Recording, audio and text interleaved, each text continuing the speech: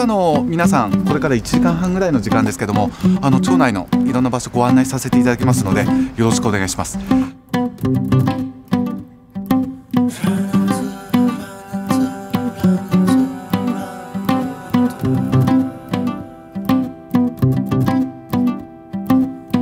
あの私は復興という言葉がありますけども元に戻すんではなくて新たなまちづくりっていうことであの町民の皆さんには宣言させていただいてだこういう状況だから大変なんだこういうものだから皆さんから支援してもらわなくちゃならないっていうことじゃなくてこういうところだからこそなんか他と違ったことができるんじゃないかっていうそのいわゆるネガティブからポジティブに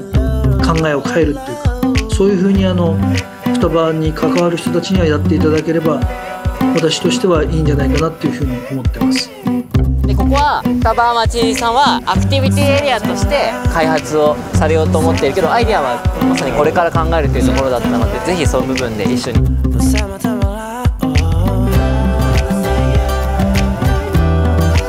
自分も日々無力だなって思ったりしょうもないなって思ったりするからその気持ちのままいろいろ見てそういう気持ちの人がなんか前に進めるようなものを考えた方がいいかもみたいなとこだけがずっと頭にあったし見てても変わんなかった福島結構いろんな場所には行ってたんですよでもやっぱ双葉はこうなんか自然をすごく生かしたその土地を生かした自然系のサウナみたいなのはいいんじゃないかなと思いましたね。ここでしか見れない夏の絶景がありますよっていうふうに歌っていくという感じの日本最高峰のジオパークさんですみたいな感じでやっていくとまあいいだろう。最近地元帰ったの何のためですかみたいなって考えた時に絶対年に1回法事とか墓参りとかのために実家帰るじゃないですか。そこにじゃ親族一同が集まるおばあちゃん家があるってことが本当はすごい大事だと思うんですけどそれが今なくなっている。って思った時に離れ離れになった親族が再び共に過ごすためのメモリアルリゾートというふうに言ってるんですけれどなんかこういうのあったらいいよねっていうのがこうまあ、我々も一緒に作っていきたいですしみんなで作れる余剰がやっぱりあるといいなっていうのが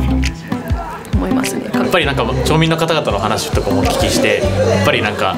その場所が大々的にできる意味ですとかそれになんか町民の方々も乗ってくれるかみたいなことを考えた時になんか町の文脈にしっかり沿っていてそこにそれがある意味があってそれがなんか誰しも納得できるものになっているっていうなんかそこはすごく大事だなと思ったので根は真面目なところから埋めるというのかなと思っていました。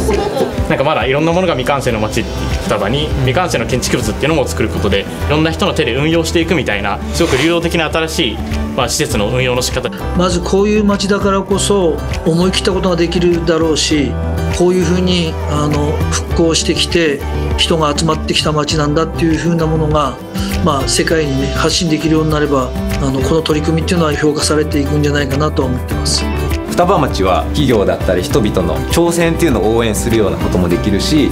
多様性を尊重したようないろいろな施策が試せる場所になっている